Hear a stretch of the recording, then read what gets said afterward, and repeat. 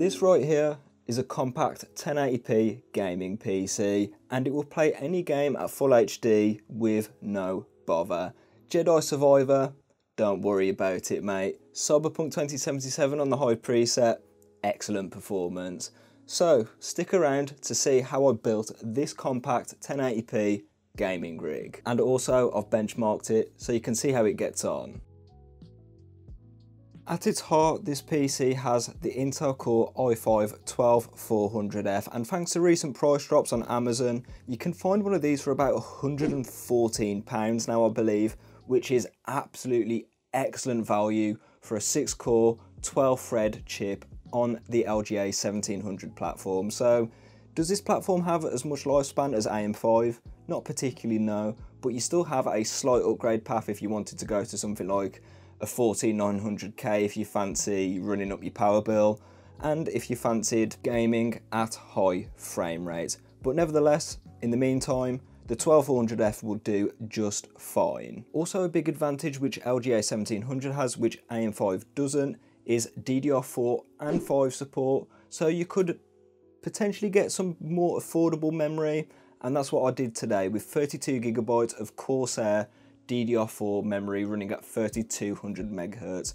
I know Corsair Dominator isn't the cheapest memory in the world, it's actually pretty expensive, but I had it lying around and you could always use some Vengeance or some other brand of DDR4 and still save quite a bit of money compared to the newer memory standard. Keeping the topic on memory, to store all of our games I've got a Western Digital SN770 2TB NVMe Gen 4 SSD and this is basically where it's at for PC gaming right now.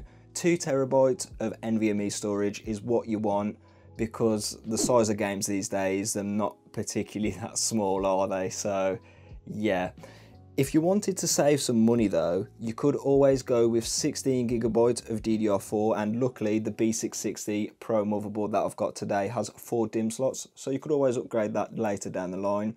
And you could go with a one terabyte SSD to save a bit of costs. Yes, I recommend two terabytes and 32 gigabytes, but Sometimes your budget won't allow for that and that's totally fine, so I'd recommend cutting these down. However, do not use a hard drive to boot off of in 2024, it's really not worth it.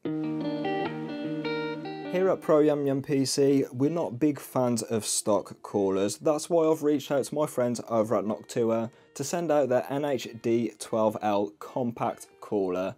This cooler is an absolute beast in a small form factor and to be honest, it's probably a bit overkill for our i5 today, but that's a good thing because you will have quieter operation as the fan does have to spin slower especially compared to the stock cooler. And the NH-D12L is perfect for a compact build like this. It's only 145mm tall while still having a 120mm NF-A12 fan which is one of the best fans on the market right now. It's got a dual tower design and it features five heat pipes so managing the heat from especially a locked i5 is not going to be a problem at all. And of course, it's got Noctua's legendary SecuFirm 2 mounting mechanism, which is one of the best in the game, especially for air coolers. I'm yet to see a mounting mechanism which is better than this. It has support for both LGA 1700 and AM5 natively right out of the box, while still supporting older platforms like AM4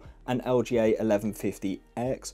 Also, if in the future you need more mounting hardware, Noctua have you covered. As long as you provide them with a proof of purchase, Noctua will send out a mounting kit free of charge, which is just an absolute W. And lastly, in terms of looks, the NH-D12L looks absolutely incredible. It looks nice and sleek in a build like this, and I think if you're going for that non-RGB, understated aesthetic, is probably the cooler for you. So make sure you check it out in the description link below with my Amazon affiliate links and a big thank you to Noctua for sending this out. I wanted to build a somewhat compact PC without having to pay the ITX tax. That's why I bought the Asus Prime AP201 compact micro ATX case and I think my purchase decision was justified because this PC is only about 33 litres in volume and it doesn't really take up that much space on my desk. So I think this case, in terms of a compact one, especially for Micro ATX, is perfect for what I need it to do. It fits the sort of bigger micro ATX motherboards like the B660-A Pro I've got today, so they're the ones with the four DIMM slots. So that's nice to see right there. And it will fit a somewhat chunky graphics card. I've seen people put like 4080 Founders Editions in here and they've been totally fine. As long as your graphics card doesn't exceed 338 millimeters of length, I believe it is, you should be good to go. Also, it's mesh all around it as well. I'll, I'll put the side panel on now actually, so. If we just put that on, there we go. As you can see with the mesh side panel on, it does look very sleek. They also do a tempered glass version as well, which is slightly more expensive off the top of my head, but I think this looks better in my opinion as the mesh does look pretty unique. And of course, like with any other gaming PC build, the graphics card is the most important part. And that's why today I went with the Radeon RX 6600. It's set for 1080p gaming even in 2024 with its 8GB of VRAM, a fairly decent memory configuration if you disregard the 128-bit memory bus. However, I can let that slide because the performance at 1080p rasterized performance is absolutely excellent from this graphics card. I took a look at it a few months ago in a video which you can watch up there or there, I never know where YouTube puts it, but I determined it to be one of the best value graphics cards for 1080p gaming in 2024. But how does it perform with the i5 12400F? Well, there's only one way to answer that, and I've tested it at 1080p, so let's see what the benchmarks are saying. Hogwarts Legacy on the high preset is up first today, and here we see brilliant performance with 83 frames per second on average, and the 1% low not trailing it too far. This means that 1080p, Hogwarts Legacy is perfectly fine on this set of hardware, and I would say that i5 complements the RX 6600 just fine in Hogwarts Legacy. If you wanted more graphical fidelity, switching up to the Ultra preset could be a good option as well. So with PC gaming, you've always got options open to you, and that is the brilliant thing about it. Jedi Survivor on the high preset was kind of a big ask for this combination of hardware today with just 56 frames per second on average and that 1% low wasn't looking brilliant. So what I'd recommend is changing up a few settings to get that average above 60 FPS and maybe uh, tighten up that 1% low to that average frame rate as well. But it's still playable at the end of the day. On the other hand though, you'd probably be expecting a bit more performance from this hardware. Cyberpunk 2077 on the high preset performs relatively well, getting just shy of 70 frames per second, and that 1% low is just under 60 FPS as well. So there's no performance issues right here. Leave ray tracing off in Cyberpunk because the RX 6600, despite having RT cores, can't really do it that well. But rasterization in Cyberpunk 2077 is no issue at all. Of course, Fortnite is going to be fine for a heavily competitive experience, getting north of 270 frames per second on average, but that 1% low is almost half of the average frame rate, which isn't that brilliant. But as we know from previous testing, Fortnite isn't particularly great with its 1% lows, it is prone to quite a bit of stuttering, so that is a bit of an issue to look out for, but either way, in my experience, it was totally playable. Despite those little stutters, that can happen from time to time in Fortnite. Spider-Man Remastered on the very high preset just shows how well optimized this game is because the average frame rate is triple digits today, which is brilliant.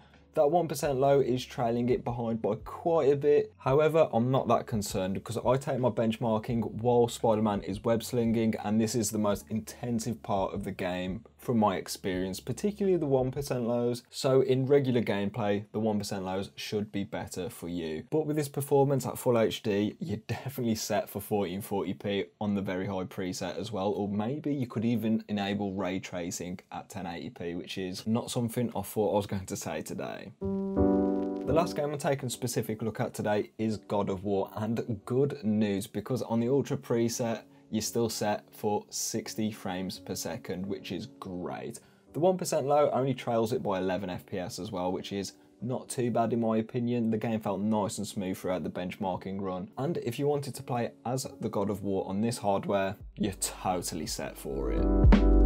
So the 1080p gaming performance from this little compact gaming PC is nothing to complain about at all, particularly if you've got the same sort of expectations as me. I'm not this type of person that wants ray tracing enabled, that ultra presets in every single game, because that is not going to be a possibility with this.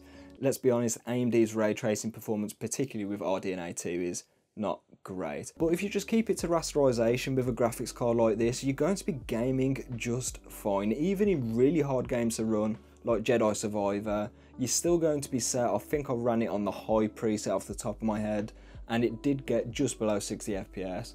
But if you were to do a bit of tweaking, you'll be golden because yeah, that's what PC gaming's about. You can tweak around the settings, and you can get the frame rate which you want. If we look at the competitive games, you're going to be having no issues here at all. You're set for 240 Hz experience at least, especially the 12400F is it's a very competent CPU and to be honest you could get the i3 12100F which is about 30 to 40 pounds cheaper than the i5 today. And you should be getting similar performance still because it shouldn't be holding back the RX 6600 maybe in a few esports games you might be getting less performance, but it's not going to be that noticeable. On the other hand, you could also get a more powerful GPU like the RX 6700 XT that will pair well with the i5 12400F for instance. So if you were to ask me if I'm happy with the overall build, I'd say aesthetically yes, Performance wise, yes as well. This thing looks pretty great if you don't ask me, I'm the one who built it. Of course I'm going to say it looks quite decent. But I think even the touch with the custom sleeves extension for the graphics card, I think it does really pop out, especially with the RAM as well, as you can set that to purple in iCUE. So is it a good looking PC? Yeah, would I rock this on my desk? Probably, definitely.